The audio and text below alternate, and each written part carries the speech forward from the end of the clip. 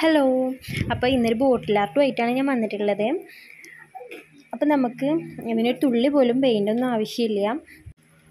അപ്പോൾ നമ്മൾ ഈ ബോട്ടിൽ ആർട്ട് ചെയ്യാനായിട്ട് ഉപയോഗിക്കുന്നത് തയ്യൽ മെഷീനിലൊക്കെ യൂസ് ചെയ്യുന്ന നൂലുണ്ടല്ലോ. അതാണ് കേട്ടോ അപ്പോൾ എന്റെ കയ്യിൽ പഴയ ഒരു നൂലുണ്ടായിരുന്നു. അപ്പോൾ അതാണ് ഞാൻ ഇവിടെ യൂസ് ചെയ്യുന്നത്. അപ്പോൾ നമ്മളുടെ കയ്യിലുള്ള ഏതെങ്കിലുമൊക്കെ ഒരു കളർ യൂസ് ചെയ്യുക. കളർ യൂസ് ചെയ്യുമ്പോൾ ഒരു കോമ്പിനേഷൻ ഉണ്ടെങ്കിൽ ഒന്നുകൂടെ നല്ലതാവും. അപ്പോൾ ഞാനിവിടെ വൈറ്റ് റെഡ് അതുപോലെ ഗ്രീന് റോസ് ഒക്കെയാണ് യൂസ് ചെയ്യുന്നത്. അപ്പോൾ നമ്മൾ ഫസ്റ്റ് സ്റ്റെപ്പായിട്ട് ചെയ്യേണ്ടത് അതിൽ ഫെവിക്കോൾ യൂസ് ചെയ്യാം. അപ്പോൾ ഞാനതായി യൂസ് ചെയ്തത് നമുക്ക് ഏതായാലും കുഴപ്പമില്ല കേട്ടോ. എന്നിട്ട് നമ്മളെ പശയിൽ നൂൽ അങ്ങനെ ചുറ്റി മുകളിൽ നിന്ന് തന്നെ ചുറ്റിയെടുക്കുകയാണ് നല്ലത്. മുകളിൽ നിന്ന് തന്നെ താഴേക്കായിട്ട് ചുറ്റിയെടുക്കാനായിട്ട് നല്ലത്. അപ്പോൾ ഫസ്റ്റിൽ നമ്മൾ തുടങ്ങുന്ന സമയത്ത് ചെറിയ രീതിയിൽ ഒരു കെട്ടിട്ട് കൊടുക്കുകയാണെങ്കിൽ ഒന്ന് നല്ലതാവും. കാരണം ഞാനത് ചെയ്തിട്ടുണ്ടായിരുന്നില്ല. പക്ഷെ എനിക്കങ്ങനെ തോന്നി. പിന്നീട് അങ്ങനെ നമ്മൾ ചുറ്റി വരുന്ന സമയത്ത് ഫസ്റ്റിൽ ഫസ്റ്റ് ചുറ്റിയ ആ ഭാഗം അങ്ങനെ വലിഞ്ഞ് പോരുന്നതായിട്ട് തോന്നി. അപ്പോൾ ഫസ്റ്റ് നമ്മൾ ചുറ്റി കൊടുക്കുന്ന സമയത്തുണ്ടല്ലോ ഒരു കെട്ടിട്ടിട്ട് പിന്നെ ചുറ്റി തുടങ്ങാൻ കേട്ടോ നല്ലത്.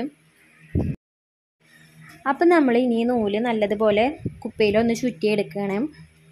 അപ്പം നമ്മൾ കൂടെ പശ തേക്കണം എന്ന് നിർബന്ധമൊന്നുമില്ല. പക്ഷെ ആ നെക്ക് ഭാഗം ഉണ്ടല്ലോ കുപ്പിയുടെ അവിടെ ആയിട്ട് നൂലിങ്ങനെ വെഴുതി പോരും. അപ്പോൾ അവിടെ കൂടുതലായിട്ടൊന്ന് പശ അപ്ലൈ ചെയ്ത് കൊടുക്കുക.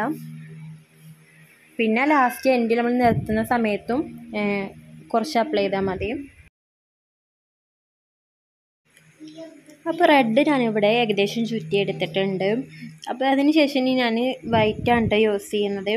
അപ്പോൾ വൈറ്റും അതുപോലെ തന്നെ ഒന്ന് ചുറ്റിയെടുക്കുകയാണ്. അപ്പോൾ വൈറ്റിനത് അവിടെ ഏകദേശം ചുറ്റിയെടുത്തിട്ടുണ്ട്. അപ്പോൾ ഇനി ഞാൻ നീല കളറാണ് ചെയ്യുന്നത്. അപ്പോൾ ഇത് ശരിക്കും സിമ്പിളായിട്ടുള്ളൊരു ബോട്ടിൽ ആർട്ട് തന്നെയാണ് കേട്ടോ നമുക്കിതിനൊരു പെയിന്റും ആവശ്യമില്ല. എന്നാൽ നമ്മൾ പഴയ നൂലോ ഒക്കെ ഇപ്പോൾ നൂൽ പുതിയത് മേടിക്കുകയാണെങ്കിൽ തന്നെ അതിനധികം ചിലവില്ലാത്തതുമാണല്ലോ അപ്പോൾ ഞാൻ ഇവിടെ മൂന്ന് കളറ് ഇപ്പോൾ ഇതിൽ ചുറ്റിയെടുത്തിട്ടുണ്ട് കേട്ടോ നമ്മളപ്പോൾ ഒരുപാട് തിക്കാക്കാതെ ഇത്രയും ചുറ്റിയെടുത്താൽ തന്നെ ഇത് കാണാൻ നല്ല ഭംഗിയാണ് കേട്ടോ അപ്പോൾ നമ്മൾ ഈ ഒരു കാപ്പി കളറ് ബോട്ടിലാണെങ്കിൽ ഇതിന്റെ ഒരു ഭംഗി കിട്ടുള്ളൂ. അല്ലാന്നുണ്ടെങ്കിൽ നമ്മൾ ഇതിന് നമ്മൾ ചുറ്റിയെടുക്കുന്നതിന് മുൻപായിട്ട് ഇതിൽ ബ്ലാക്ക് കളറ് കൊടുക്കണം. ഇനി അതുമല്ലെങ്കിൽ നമുക്ക് നല്ല തിക്കായിട്ട് ചുറ്റിയെടുക്കണം കേട്ടോ അപ്പോൾ പിന്നെ നമുക്ക് ആ ഏത് ബോട്ടിലായാലും കുഴപ്പമില്ല. പെയിന്റ് ചെയ്തിട്ടില്ലെങ്കിലും കുഴപ്പമില്ല കേട്ടോ അപ്പോൾ ഇത്ര ചെയ്ത് ഞാനൊന്ന് ഡെക്കറേറ്റ് ചെയ്ത് നോക്കിയതാണ്. അപ്പോൾ നമ്മുടെ ഡ്രസ്സിന്റെ പഴയ ഷോളിലോ ഡ്രസ്സിലോ ഒക്കെയുള്ള പൂക്കൾ ഉണ്ടാവുമല്ലോ അതൊന്ന് കട്ട് ചെയ്ത് അതിൽ വെച്ച് നോക്കിയതാണ് അത്. പിന്നെ ഇത് ഈ ഫ്ലവർ ചെയ്യുന്നത് നമ്മളെ ചാനലിൽ ഇട്ടിട്ടുണ്ട്. ഇത് നമ്മൾ വൂളൻ ത്രെഡ് വെച്ചിട്ട് ചെയ്തൊരു ഫ്ലവറാണ് ഏത് ഫ്ലവർ വെച്ച് ഡെക്കറേറ്റ് ചെയ്യുമ്പോഴാണ് കൂടുതൽ ഭംഗിയെന്ന് നിങ്ങൾ കമന്റ് ചെയ്യണം കേട്ടോ. നമ്മൾ ഈ ബോട്ടിലിന്റെ രാത്രിയിൽ എടുത്ത ഒരു പിക്കും കൂടെ ഞാൻ അതിൽ ആഡ് ചെയ്തിട്ടുണ്ട്. അപ്പോൾ എനിക്കത് ഒരുപാട് ഇഷ്ടമായിട്ടോ അപ്പോൾ ഇനി നമ്മൾ നല്ല തിക്കായിട്ട് നമ്മൾ എങ്ങനെ ചെയ്യുമ്പോൾ എങ്ങനെ ഉണ്ടാവും എന്നുള്ളതും കൂടെ കാണിക്കുന്നുണ്ട്. അപ്പോൾ നമ്മൾ നേരത്തെ വെച്ചിരുന്ന ഫ്ലവറൊക്കെ ഞാൻ എടുത്തിട്ട് ഒന്നുകൂടെ നല്ല തിക്കായിട്ട് ഞാൻ നൂലൊന്നുകൂടെ ചുറ്റി കൊടുത്തു. അപ്പോഴാണ് കൂടുതൽ ഒന്നുകൂടെ ഭംഗി ആയിട്ടുള്ളത്. ഇനി മറ്റു രീതിയിലായാലും കുഴപ്പമൊന്നുമില്ല. അപ്പോൾ നിങ്ങൾക്ക് ഏത് ഏതും രീതിയിലാണ് നിങ്ങൾക്ക് ഇഷ്ടപ്പെട്ടതെന്ന് കമന്റ് ചെയ്യണേ.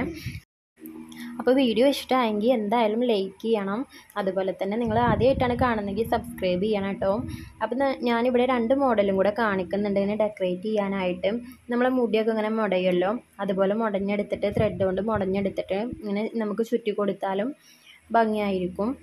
അപ്പോൾ ഞാനിതൊരു ഫ്ലവർ ഉണ്ടാക്കാനായിട്ട് മടഞ്ഞെടുത്തതായിരുന്നു കേട്ടോ. അപ്പോൾ ബോട്ടിലൊന്ന് ജസ്റ്റ് വെച്ച് നോക്കിയതാണ്.